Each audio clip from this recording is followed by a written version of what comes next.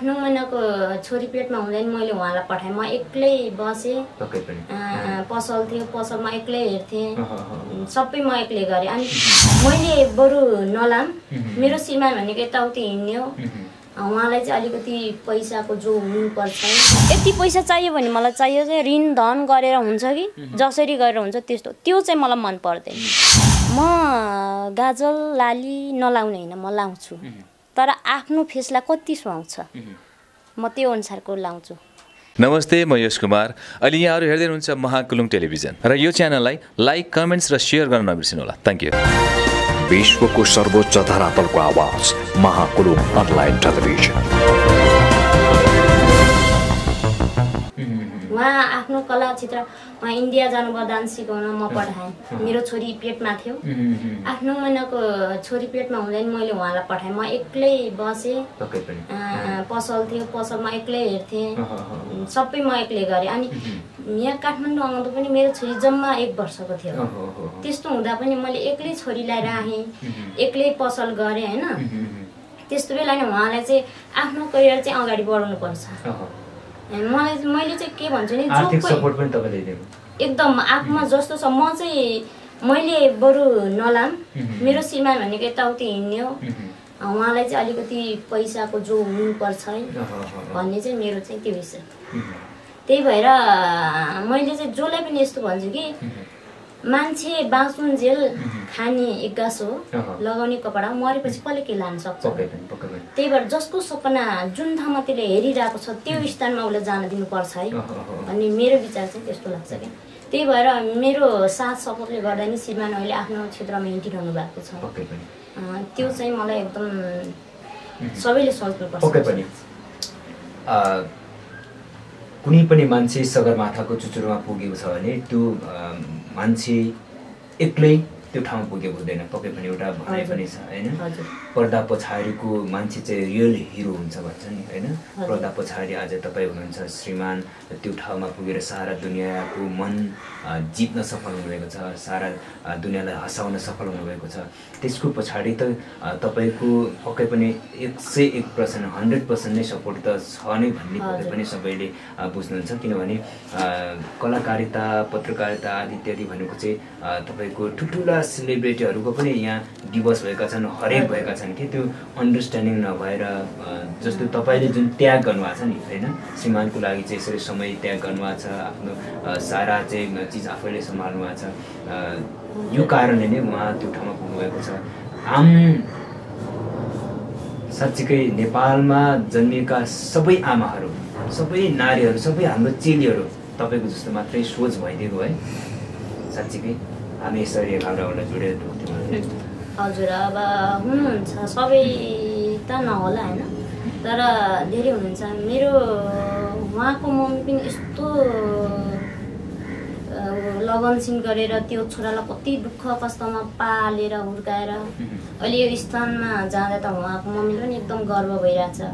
त्यो उहाँको पहिलेको जति विगत छ उहाँ सम्झिँदा उहाँ आफै पनि एकदम भावु अस्ति पनि उहाँले अब इन्टरभ्यू दिँदा एकदम भावुक हुनुभयो। त्यस्तो इन्टरभ्यूमा अब कुनै कुनैले चाहिँ अलिकति नराम्रो पनि सोचिदिनु भएको किनभने भोट राम्रो आओस् भनेर रोएको होला भन्ने पनि त त्यस्तो पनि छ। त्यो होइन त्यो सोचाइ गलत हो कि? त्यस्तो हामीले सोच्नु हुँदैन। मान्छे कुनै न कुनै विगतलाई सम्झेर जो कहिले पनि त आँसु खसाल्न पायो नि त। हामी रुनु भनेको के? हामी मान्छेहरूलाई? त्यो छैन नि। मान्छेलाई हामीले त्यो त्यसलाई हामीले खसाल्नको लागि रोको होइन। हामीले भोट माग्नको लागि रोको होइन नि। अहँ। त्यो त विगतलाई सम्झेर खसालेको आँसु जसले पनि रुन पायो नि त। त्यसमा चाहिँ हाम्रो कुनै पनि स्वार्थ छैन। त्यो आफूमा अलिकति भावुक भएर पो रोयो नि त्यसमा पनि अलिकति अब कुनै कुनैलाई छ नि त सोच म कमेन्टहरूमा पनि देखिरहेको छु म सबै हेर्छु। पक्कै पनि तर। मलाई गुनासो छैन गुनासो। आफ्नो मान्छे अनुसारको आफ्नो। विशेषता हुन्छ सोच हुनु सोच हुन्छ होइन? जस्तो आफ्नो विगतलाई सम्झेर एउटा भनाइ छ नि हर्के जति दुःख खेप्नु खेपिसक्यो अब तिम्रा दिन फर्के। भनेपछि पनि मान्छे रुन सक्छ होइन? जस्तो विगतका दुःखहरूलाई विगतका इतिहासलाई विगतका पीडालाई सम्झेर पनि मान्छे भावुक हुनसक्छ त्यो स्वाभाविक हो। तपाईँले जुन कुरा गर्नुभयो आज मसँग जस्तो मान्छेको बाँचुन्जेली होइन हामी जति खान्छौँ जति लाउँछौँ त्यो सब चिज मान्छेको मरेर जान्छ। एक न एक दिन एउटा जन्म अर्को मृत्यु त एउटा प्रकृतिको नियम हो होइन? एउटा ईश्वरीय देन हो।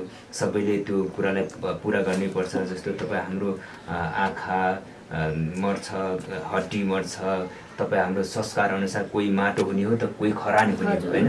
तर सबैभन्दा बाँचिरहने चिज भनेको चाहिँ तपाईँले भने जस्तै जसले असल कर्म गरेको छ जसले असल सपना बोकेर चाहिँ साकार पारेको छ। त्यही चिज बाँचिरहने हो अब युगौँ युग सयौँ जन्मको कुरा गर्छौँ नि होइन। कतिपय तपाईँले अघि भन्नुभयो मान्छेहरू देखावटी प्रेम गर्दाखेरि म तिम्रो लागि सयौँ जुनीसम्म चाहिँ दिन तयार छु होइन भन्छन् नि।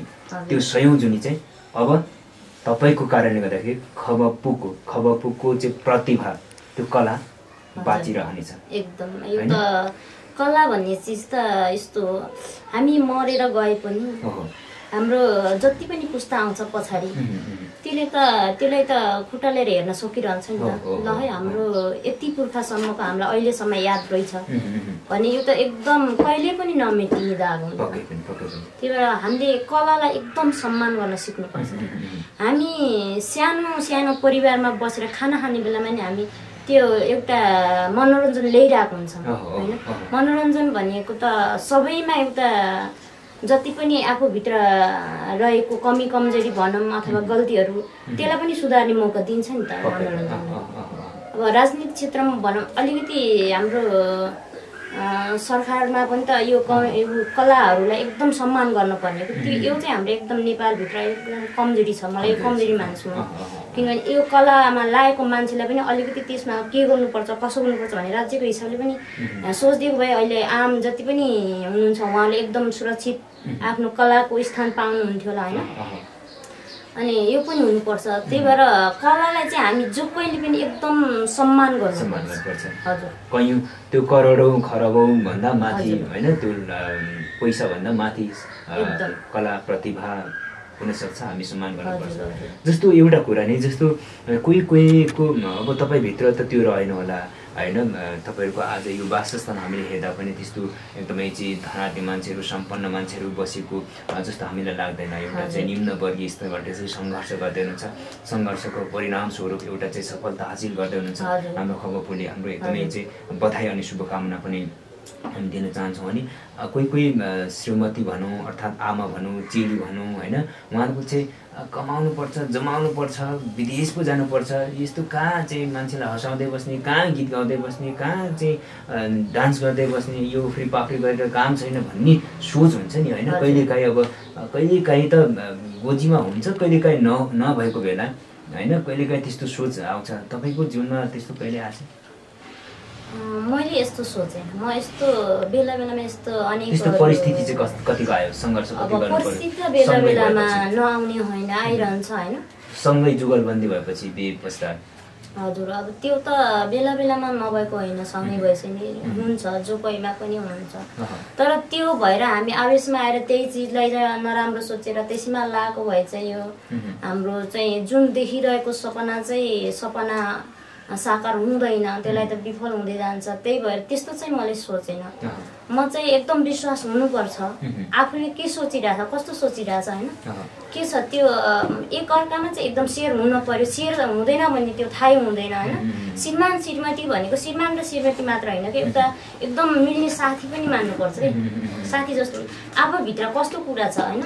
के कुराले म एकदम एक गुम्सिरहेको छु कि होइन? अल्मलिरहेको छु कि? हरेक कुरा श्रीमान श्रीमतीमा खोल्नुपर्छ। खोलेपछि श्रीमतीको कुरा के छ अप्ठ्यारो कुरा श्रीमानबाट पो सल्भ हुन्छ कि? भनेपछि दुवैजनाको सल्भ भयो भने त भोलि बिहान त्यसैबाट सहज हुन्छ नि त। जीवन जिउनु त धेरै छ नि लामो छ नि त। त्यही भएर त्यस्तो चाहिँ छैन। म चाहिँ विश्वास गर्छु। मान्छे जेमा विश्वास गर्छ नि त्यसमै सन्तुष्टि हुन्छ। भनेपछि श्रीमानको सपनालाई साकार पार्नै पर्छ भन्नेमा हन्ड्रेड पर्सेन्ट तपाईँ हुनुहुन्छ। जस्तो कोही कोही हामीले देखेका छौँ हाम्रो हामी त त्यस्तो समाजमा छौँ होइन। जो आफ्नो सारा परिवारको लागि आफ्नो फ्यामिलीको लागि आफ्नो श्रीमतीको लागि भनेर चाहिँ कमाउन जान्छन् खाडी। मुलुकमा हरेक पसिना बगाउँछन् तर आउँदाखेरि श्रीमती पनि छैन कमाएको जति सबै सारा अचल अचल सम्पत्ति पनि हुँदैन होइन? र चाहिँ श्रीमन्तको सपना त पुरा गर्ने त होइन। झन् भत्तामुङ्गै लथालिङ्गै पारिदिने पनि हुन्छ नि त्यस्तोहरूलाई चाहिँ तपाईँको सन्देश के छ? अँ, उहाँलाई चाहिँ यो यस्तो विकृति अहिले एकदम धेरै छ। अब आइमी मान्छे होइन छोरो मान्छे दुवैमा छ क्या अहिले होइन। अब अर्काको श्रीमान विदेशमा गएर कति दुःख कष्ट गरिरहेछ अर्काको देशमा कसरी पसिना बगाएर पैसा पठाइरहेको छ त्यो श्रीमानको श्रीमतीलाई फकाएर पैसा खाइरहने त्यो छोरो मान्छे नि त गलत हो कि दुवैजना एकदम गलत हुन्छ दुवै एकदम गलत हुन्छ त्यही भएर उहाँलाई चाहिँ के भन्छु भने यस्तो गर्नु हुँदैन। सर्वप्रथम आफूले भित्र खोलेर हेर्नुहोस् आफूलाई खोलेर हेर्नुहोस्। आफूभित्र म कस्तो गरिरहेको छु। के गर्दा मलाई गलत छु कि सही छु। सबै आफूभित्र आफै फर्केर हेर्नुहोस्। त्यसपछि अरूको बाटो बिगार्ने सके छल्न सके पनि आफूलाई त सक्दैन नि। त्यही भएर सबभन्दा पहिले आफूभित्र खोलेर आफैलाई हेर्नुहोस्। त्यसपछि अरूको बाटो कस्तो छ त्यसपछि हेर्नुहोस्। म त्यो भन्छु। अहिले त कस्तो छ भने यो अरूको देखा सिकिने नभने मान्छे राम्रो खाएर राम्रो लाएर के हुन्छ। होइन?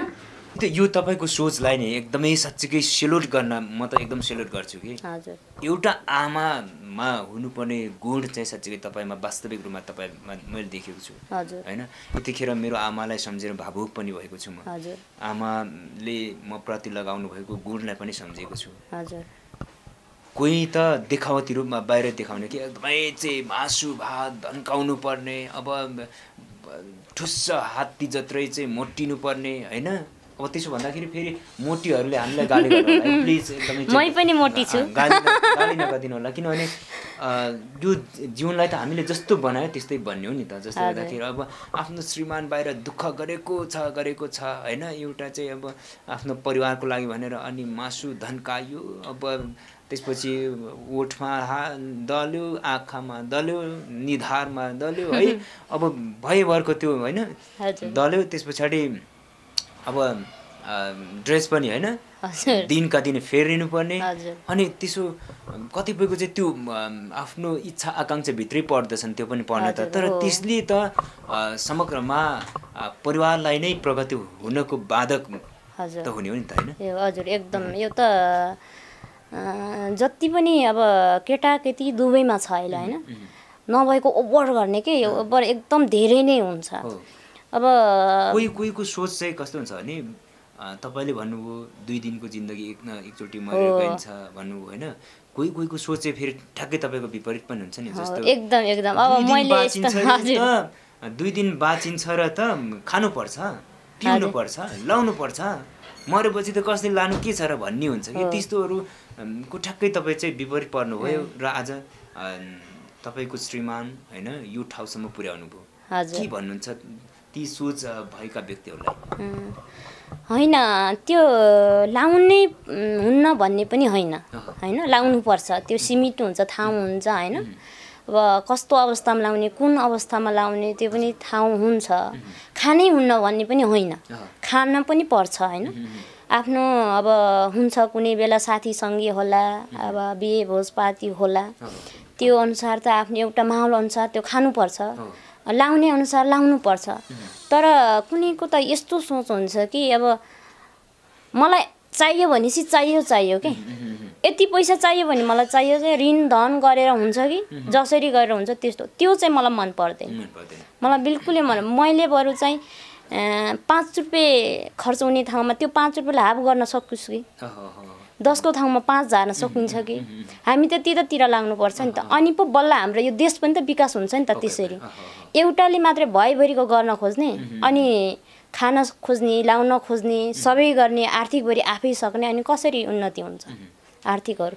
त्यही भएर सबैले खान त खानुहोस् लाउन पनि लाउनुहोस् तर अलिकति हेरेर मात्र लाउनुहोस् आफूलाई कुन पच्छ कुन पच्दैन। त्यो हिसाबले गर्नु। अब भन्नु होला फेरि तँलाई के भयो के तँ यस्तो कुरा गरिस् भन्ने कुरा नि आउँला होइन। त्यो होइन। होइन त्यस्तो होला तर त्यो होइन। मैले आफ्नो विचार राखेको आफूलाई मलाई जस्तो लाग्छ म त्यो भनेको त्यही भएर म त्यस्तो भन्छु। अनि श्रीमानले उहाँ दुःख गरेको छ विदेशमा होइन कस्तो दुःख गरिरहेछ के दुःख गरिरहेछ उसले देखेको छैन। अनि यताबाट चाहिँ एकरो मलाई पैसा चाहियो यति चाहियो उति चाहियो भन्छ त्यो पैसा कहाँ गयो? खौलेमा गइरहेको हुन्छ। अर्को छोरा मान्छेले छोरा मान्छेलाई खुवा आफूले खायो भने त्यो गलत हो कि होइन? उसले सोच्नु परेन। अहिले मिडियामा कति देखिन्छ कि चारवटा पाँचवटा छोराछोरी भएको आइमे पनि श्रीमान विदेशबाट आउँदैन हुँदैन। यो त एकदम गलत हो नि। आफू आमा भएको मान्छेले त्यस्तो बच्चालाई कसरी छोड्न? हामीले लोग्नेले स्वास्नी जति पनि पाउँछ। स्वास्नीले लोग्ने जति पनि पाउँछ तर बिचरा तिनी नाबालकले आमा कहाँ पाउँछन्? त्यो भएर यो बच्चा बच्ची छोडेर हिँड्ने चाहिँ मलाई बिल्कुलै ठिक लाग्दैन। होइन? एकदम। बाचुन्जेले उहाँले आमा बुवा पनि भन्न पाउँदैन। यो क्वेसन अलिकति अर्ग्यानिक एक्स्ट्रा पनि हुनसक्छ अरू कसैले नगरेको पनि हुनसक्छ होइन? हजुर, एकदम। अ, तपाईँले मैले जस्तो सोध्न चाहेँ अहिले जमाना त्यस्तै छ भनेर मान्छेले फेरि गाली पनि गर्नु होला मलाई पनि होइन? के हजुर। यस्तो सोधिरहेको एकदम चाहिँ अहिले त हरेक ब्युटीको जमानामा चाहिँ भन्नु होला तर पनि साँच्चीकै तपाईँले भने जस्तै राष्ट्रलाई समृद्ध बनाउनको लागि त हामी व्यक्ति पनि समृद्धि हुनु पर्यो। व्यक्ति व्यक्ति मिलेर समाज समृद्धि हुनु पर्यो र राष्ट्र त्यसपछि मात्र हामीले एकैचोटि चाहिँ त्यो आफ्नो चाहिँ राष्ट्रलाई मात्रै हामीले समृद्धि खोजेर कहाँ पाइन्छ र होइन? हजुर एकदम। तपाईँले एउटा क्वेसन मैले गर्दैछु। जस्तो यो अर्ग्यानिक फेस तपाईँको देखिएको छ कि एकदमै टिपिकल ओरिजिनल होइन? यो ओठमा कहिले काहीँ गाजल परेको छ? म गाजल लाली नलाउने होइन म लाउँछु। तर आफ्नो फेसलाई कति सुहाउँछ? म त्यो अनुसारको लाउँछु। गाजल पनि म लाउँछु। लाउँछु। लाली पनि लाउँछु म। लाली यो क्रिम पनि मैले नलाउने होइन लाउँछु। तर मेरो फेसमा कतिले सुहाउँछ होइन? यो छालालाई कतिसम्म यो हाम्रो भित्र असर कति हुन्छ? त्यो हुन हामीले त लाउनु छ भनेर आफ्नो स्वास्थ्यलाई पनि त ख्याल गर्नु पऱ्यो नि त। त्यो अनुसारको लाउँछु। मैले मेरो शरीरले मेरो फेसले कतिसम्मको सुहाउँछ है। त्यतिसम्म लाउँछु तर म ओभर गरेको म। म अहिलेसम्म पार्लर पनि गएको छैन। थाहा पनि छैन मलाई पार्लरमा गएर यस्तो मेकअप गर्ने भन्छ त्यो मलाई अहिलेसम्म थाहा छैन। बनाउँदैन एकदम। अब कहिलेकाहीँ यो कपालमा बढी चाया पर्यो भने त्यो जस्तो कस्तो लाग्छ तपाईँलाई यो जस्तो हामीले अघिदेखि कुरा गरिरहेका छौँ यसलाई अलिकति फजुलको रूपमा लिन मिल्छ कि मिल्दैन होला? यो चाहिँ हामीले चाहिँ अलिकति ओभर होइन देखावटी रूपमा चाहिँ मान्छेलाई देखाउने गरी चाहिँ टिलिक्कै टल्किने ड्रेस दिनकै चेन्ज गर्ने अब खाने पनि खाने नखाने पनि नखाने होइन। त्यो चिजहरू अलिकति फजुलको रूपमा तपाईँ लिनुहुन्छ कि? त्यो फजुल त हुन्छ किन हुँदैन? ओभर गरेपछि त भइहाल्यो नि। मान्छेले नखाने होइन नलाउने होइन त्यो ठाउँ अनुसार फेस अनुसार भेष अनुसार गर्नुपर्छ तर यो अलि ओभर गऱ्यो भने त फजुल हुन्छ नि त। आर्थिकमा फजुल भयो होइन। अन्य कति केमिकल हामीले युज गरिरहेछौँ त्यसमा पनि भयो। समयको कति खेर गइरहेछ हामीले एउटै कपाल बनाउन लागि चार घन्टा पाँच घन्टा लागिरहेको हुन्छौँ कि समयमा पनि कति बर्बाद भइरहेको हुन्छ हामीले हरेक कुरामा यसमा भए फजुल भएकै हुन्छ। पक्कै पनि। एकदम। सजग रहन रहनु न हामी अनुरोध गर्छौँ होइन। ओके धेरै अलिकति हामीले सिरियस कुराकानी गरेर जस्तो लाग्यो। दर्शकहरू माफ दिनु होला अ, आफ्नो विचार प्रकट गर्न पाइन्छ। अब स्वतन्त्र अभिव्यक्ति उहाँले आफ्नो विचार दिनुभएको छ। पक्कै पनि तपाईँहरू उहाँको विचारसँग निकट नहुनु होला उहाँको विचारलाई तपाईँले सम्मान नगर्नु होला तर पनि हामीले साना साना कुरामा ख्याल गऱ्यो भने पक्कै पनि हाम्रै भविष्य सफल हुने सुनिश्चित हुने हो जसले गर्दाखेरि हामी यति आग्रह गर्न चाहन्छौँ। गाली गलोज गर्नुभए तापनि एकदमै चाहिँ सभ्य भाषामा सकारात्मक हिसाबले चाहिँ गर्नुहोला अन्तिम अन्तिममा छौँ विशेष गरेर अब खबपुले जितोस् हाम्रो शुभकामना छ र हाम्रो प्रिय दर्शकहरूले चाहिँ पक्कै पनि भोट पनि गरिदिनु होला होइन? यतिखेर अब खबपु चाहिँ होस्टलमा हुनुहुन्छ? हजुर। होस्टलमा हुनुहुन्छ। भेट गर्न आउनुभएको थियो? कहिले कहिले आउनुभएको थियो? उहाँ घरबाट फर्केपछि म पनि गएको थिएँ। एयरपोर्ट रिसिभ गर्न पनि गएको थिएँ साथसाथै त्यो दिन चाहिँ हामी दिउँसभरि सँगै बस्यौँ। कार्यक्रम थियो थोरै उहाँको अभियान गर्दा। लगभग पच्चिस गते होला। पच्चिस गते। हजुर। पच्चिस कहिलेदेखि भेट नभएको थियो? पच्चिस गते एक्का- एक्कासी भेट भयो।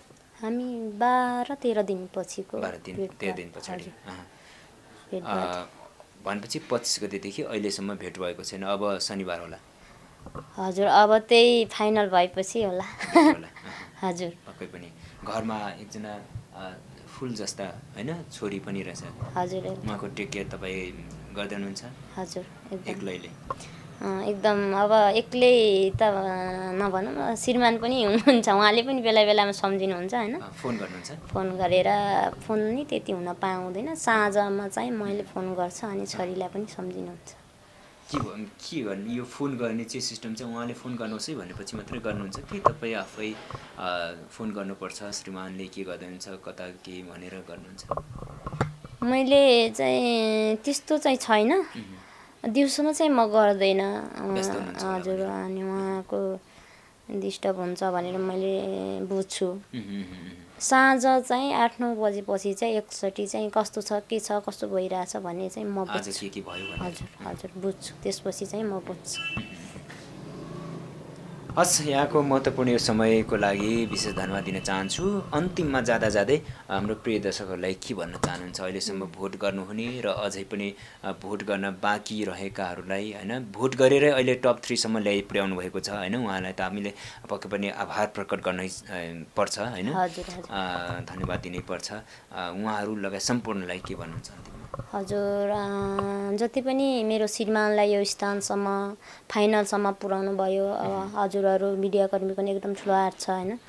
उहाँहरूलाई पनि एकदम सम्मान अनि अभियानकर्ताहरू हुनुहुन्छ धेरै हुनुहुन्छ काठमाडौँ लगायत रोल्पा रुकुम सल्यान दाङ पाल्पातिर हुनुहुन्छ पोखरातिर हुनुहुन्छ धेरै हुनुहुन्छ विदेशमा पनि हुनुहुन्छ विदेशी पनि बा पनि एउटा नेपालीहरूले एउटा संस्था एउटा अभियानको रूपमा एकदम धेरै अभियान चलाइरहनु भएको छ। उहाँहरूलाई पनि एकदम धन्यवाद। अनि सबैको म नाम लिन सक्दैन होइन। मनमा चाहिँ एकदम सम्झिरहेको छु।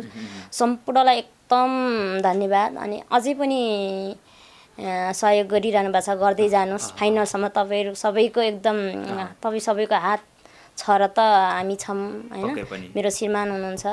त्यही हो। सबैजनाले एकदम भोट गरिदिनु होला। त्यही हो, हामी आग्रह गर्न चाहन्छौँ। ओके। भोट उहाँले गर्नुहुन्छ। अन्तिममा जाँदा जाँदै दुई लाइन। हामी उहाँहरूको लागि हाम्रो प्रिय दर्शकहरूको लागि दुई लाइन तपाईँको आवाजबाट गीत सुनेपछि त पक्कै पनि भोट त जारी नै हाल्छ। ल। के गीत गाइदिने? आउँदैन। तपाईँलाई जुन गीत आउँछ त्यही गीत गाउँदा सजिलो हुन्छ। ठ्याक्कै आउँदैन। अब यताबाट सिकाइदिनुहोस् न। बेला बखतमा गुनगुनाउनुहुन्छ नि दोहोरी होइन? हजुर। गोर्खा मना झ्यापै मायालाई हालौ भने नि ठिक छैन जमाना। यति है हस् थ्याङ्क यू सो मच है। यहाँको समयको लागि। हजुर, हजुरहरूलाई नै एकदम धन्यवाद। हजुर प्रिय दर्शकहरू विशेष गरी आज हामी खबपुको मिसेससँग विशेष खालको हामी संवाद गऱ्यौँ।